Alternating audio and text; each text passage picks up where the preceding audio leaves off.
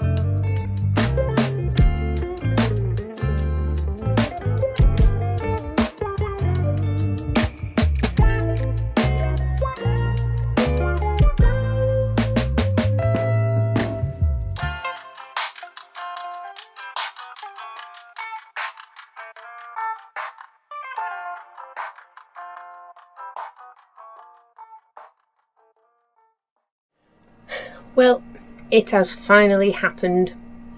Not wanting to be a drama queen, but anybody that knows me will figure out that this, this is a big deal. My frying pan has almost gone to frying pan heaven. Not quite willing to give up on it yet, but it has made its way to be emergency frying pan because you know it, it's still it's not completely toast, but all the non-sticks coming off in the middle. So I now have new pan Look how shiny and lovely it is. It's got a wooden handle and a wooden knobby thing there. And uh, it is time for me to cook something new. I've been thinking about this since this morning because I've had these in the fridge and I want to make a big meal with them instead of putting them in a wrap with some mango chutney and some lettuce leaves. So I decided I'm going to make, ready for this, saucy biryani. It's probably not the very first time it's been done. It's going to be like a tikka-ified rice in a sauce with the tikka and I'm going to make some naan bread to go with it. I'm going to try my hand at Peshwari naan. We have these, which are going to be the main staple ingredient there. Um, Greek yogurt to cream it up a little bit, passata, coconut cream, that'll make the sauce nice and saucy.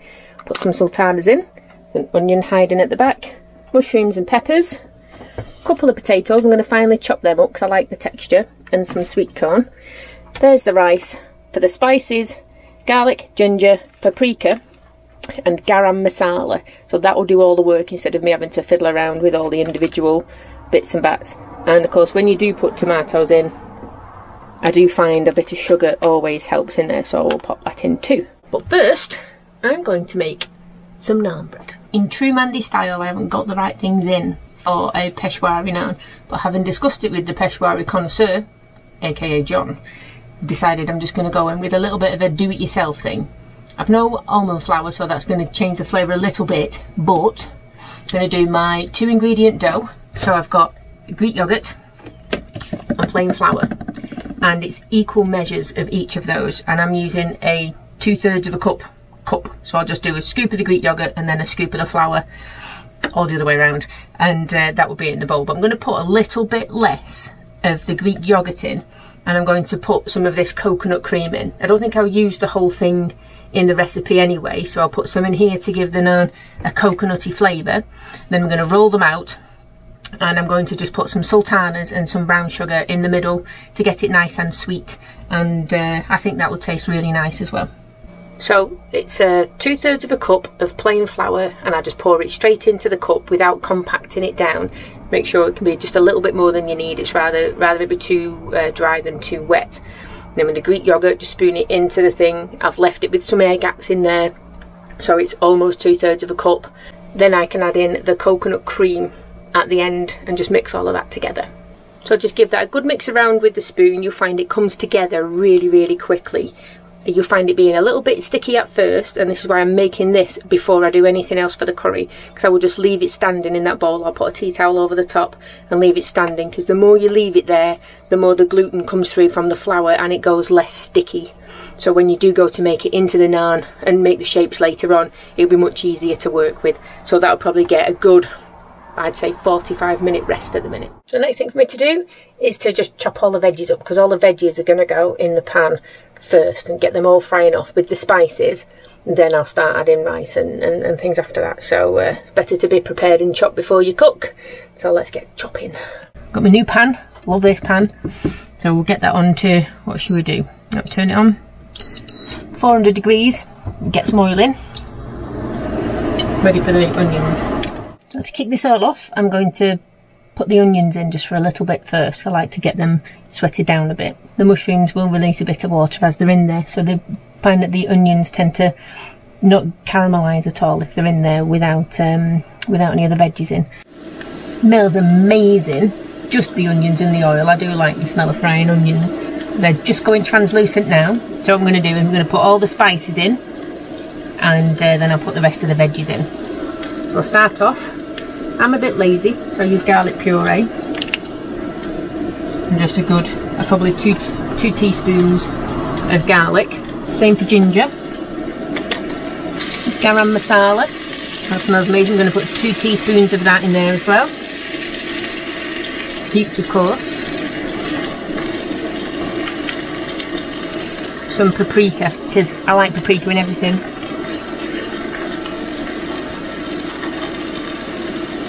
And give that a good old stir.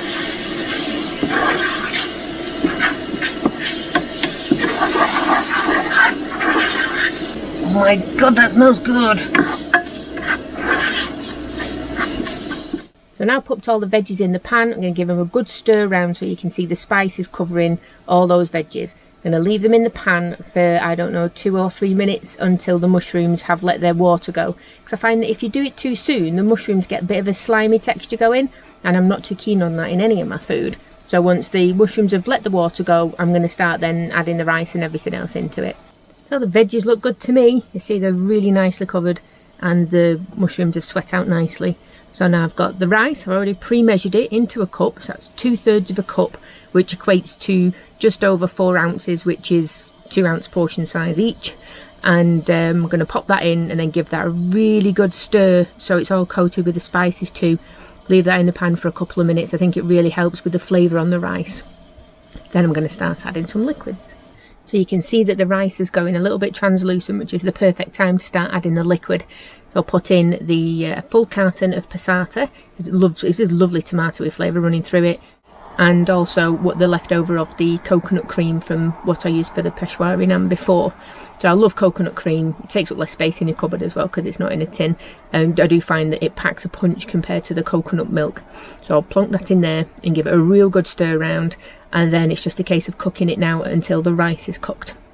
I've got pre-cooked chicken tikka that I'm going to stir through at the end with the sweet corn just to warm it through so I'm not too worried about getting that in just yet. Put the sultanas and that's two teaspoons or heaped teaspoons of dark muscovado sugar just to offset the tartness of the tomato. I gave it a bit of a taste and realised it was a bit tart so uh, that's gone in. Hopefully after a couple of minutes I'll be able to tell that that's okay. I kind of already started poking the bread and then I realised I really needed to record it for you. Uh, the rice has been in with all the liquids for about 10 minutes. I've just given it a stir because it was just starting to cook more on the bottom. It's cooking through wonderfully. Tastes amazing of the, the little bits that I've, uh, I've tasted.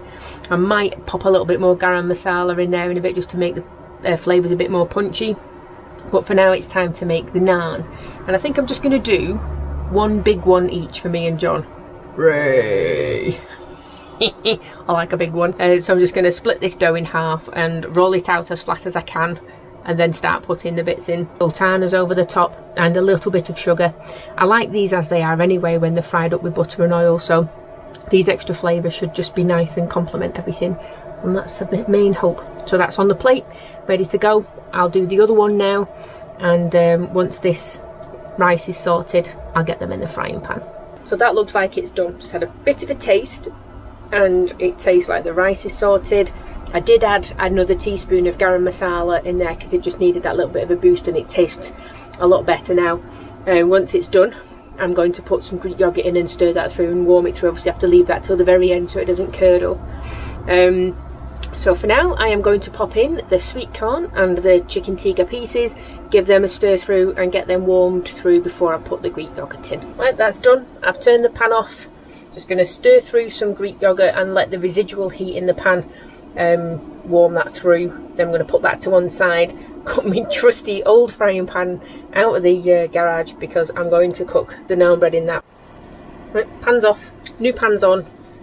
Start off at 400, I'm just going to warm up some butter and some oil in there and then get these naan breads cooking because I'm starving now so uh, I'm literally wasting away. It's going to whap it up to 800 so once naan bread is in and it starts getting those little bubbles in it then I can turn it down after that. I don't know if you can see there. Crisping up nicely so we'll give it another two minutes and then flip it over.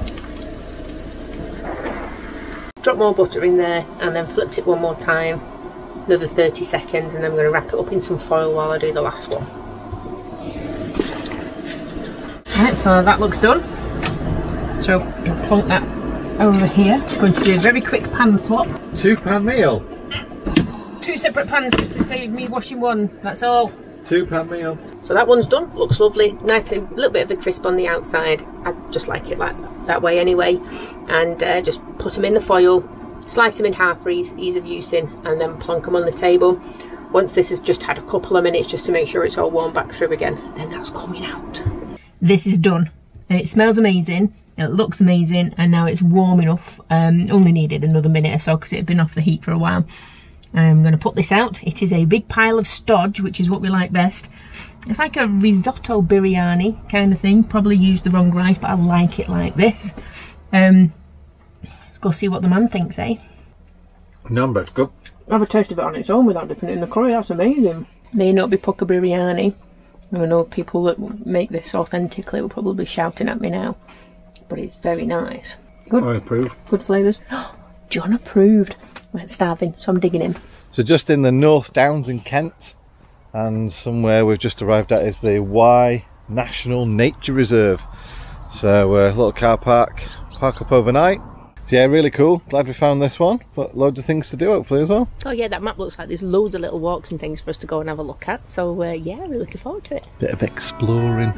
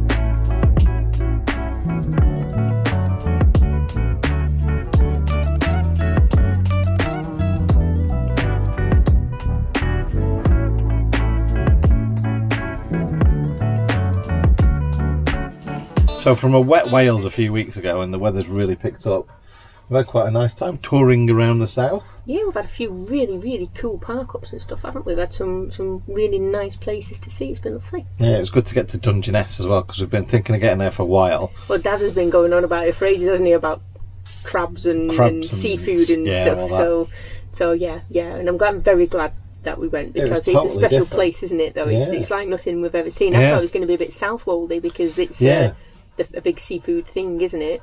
But Yeah, it's like nothing else I've seen. It reminded us a little bit about Denmark as well. yeah, With the huts just nestled away in the. in the dunes in the and dunes things. and everything like Yeah, that. So yeah, that's a good cool. Mm. point. Actually, I did think it looked familiar, and that must have been it. Yeah.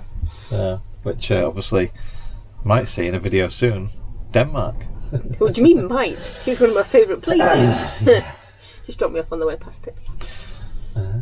So yeah, we've been h- hanging around the uh, south really. Um, we're going to see Daz. It's his birthday in a couple of days, and then we're just waiting on our um, road trip buddies. So Rob's getting a water heater done, and uh, Greg and Lou have been sort of saying their goodbyes and to their everything like family that. and whatnot. Yeah, so uh, we just got to wait for us all to Avengers Assemble. But, uh, sorry, we've just got into watching them. We've never watched them before, so it's The all Marvel new to me. All the Marvel stuff, yeah, Yeah. So everybody's like old news for everybody else, but it's like Probably. new for me. but yeah, so we've got to do that because Coop's got everything he needs now. So yeah, We're uh, all set really. Just like I say, waiting for things to happen, and um, uh, four days time, we shall be there. yeah. Make sure that you subscribe, ding the bell. Ding the bell and choose all notifications because we will be doing uh, community tab posts as well, and that'll pick them up if you do. So uh, if you want to catch us behind the scenes, follow us on Instagram. Uh, like I say, we'll probably do some community tabs as well to uh, let you know about where we've been, interesting places, things like that. Um, and our videos, we're going to keep the same format of the videos. I've seen a lot of comments saying people prefer this format video hmm. rather than just cramming something into a week. So that's why the videos have been a bit different and sporadic, and that is that we're actually producing videos when we've done things. So, for example, this video is part two of the previous video, which actually has been about a month's worth of travel, Yeah. Which we put into two videos and then do it that way. So, the next video, although it might be out for a week for you, it might be a week, it might be two days of travel, it might be something really interesting. Yeah. Uh, first couple of things we're going to do is obviously get Coop pet uh, European pet passport, and then we're going to go to Amsterdam for a bender. Yeah. Well, So, yeah. So one part of it will be about Coop, and the other part might be um, yeah, what all the things we love to do in Amsterdam. Yeah, it might, or it might be that we're having so much fun we actually forget to record everything because that's the way we roll. It It, does seems happen too, we a little bit. we do forget to film, but no, we've got uh, John's treated me to a new selfie stick, which means that we can use phones a little bit more to Yeah. uh, to get a bit better footage of us both rather than and it just being. outdoor um, microphones as well. Yeah, I've, got, I've got a little pet rat in my bag now, haven't I? uh, dead cat they're called. or Is it a dead mouse. cat? Yeah. Oh, I prefer pet mouse or no, no, there's something dead in my bag. There we go. yeah, That's how I roll. yeah. Yeah, well, the idea of the trip is we're going to bring you more raw, as it happened to us type of things, as well as the cinematic stuff and the hopeful, lovely drone shots and all that kind of stuff. But um, we just want to present each location we go to in the way that it was to us. yeah.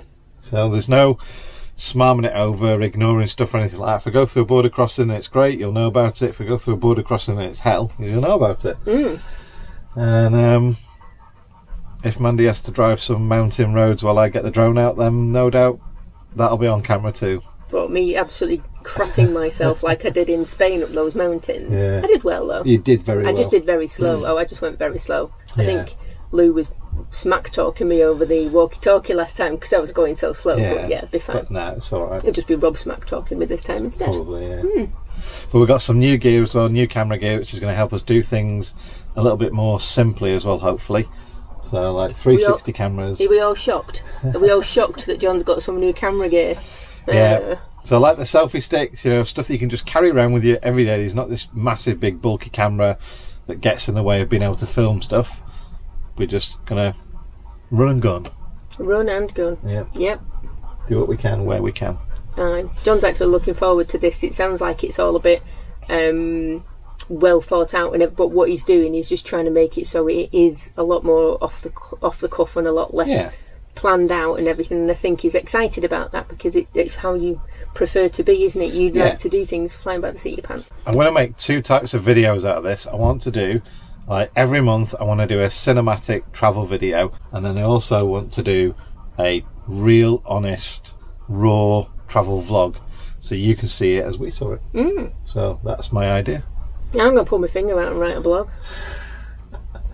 Uh, for those of you who've asked about um, our plans and uh, maps and itineraries and spreadsheets and all that kind of stuff, once we've finished the route, obviously, then we'll pass on all that information and we'll put it on the website so you can download it and then go wherever we've been. Because we don't know at this minute, we don't know how useful all the information is Yeah. that we've got, and we'd hate to be passing on information that's not tried and tested. I mean, we've been doing it again. It's whether the laptops I've been going through and just doing some belt and braces stuff to make sure we've got the info. It, obviously, everything's changing all the time anyway. Yeah. So, uh, so yeah, once we're done, um, we'll quite happily let everyone have everyone have a copy of my spreadsheet and see the itinerary and the routes. And we're going to share a what three words map, hopefully, Yeah. and things all like that. that stuff, all that cool stuff. All the cool things. Yeah. Right then. So uh, don't forget if you have got cool places that we should visit, um, not cities. Um, we've got loads of stuff to do in France and mainland Europe, but if you've got stuff in Bulgaria, um, North Macedonia, Montenegro, um, Albania. Albania, Turkey, that kind of stuff, you've got really cool stuff that we can oh, do. and Poland as well, yeah. and Poland, yeah. Uh, then please look at our travel map. It's on our website, and I'll put the link down there now.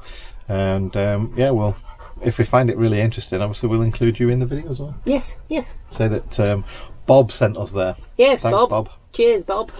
Why do we always say Bob? I don't know. I don't. He's a good lad anyway, Bob. Yeah, Bob's good. Yeah. Bob. Right, I think we should go now. Yeah, I think we should too. We've bored everybody by waffling enough. There we go. Right. Right, thanks for watching, and um, yeah, next time we see you, it'll be um, not in the UK. No, I was going to say en français, but then probably not. It'll be somewhere else Be altogether. somewhere else altogether, and I can't speak any Danish, so that's it. Uh, just speak English slowly. Mm. Right, thanks for watching, guys. See you guys. See you later. Bye. Bye.